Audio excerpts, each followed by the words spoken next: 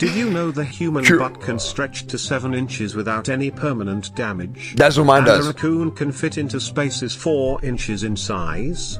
Means you can almost fit two full-grown raccoons in a human butt. I just learned this.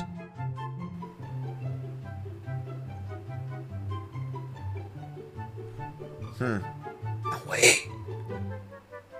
Really? It's crazy. Chad, don't go sticking raccoons in your ass, bro. Please.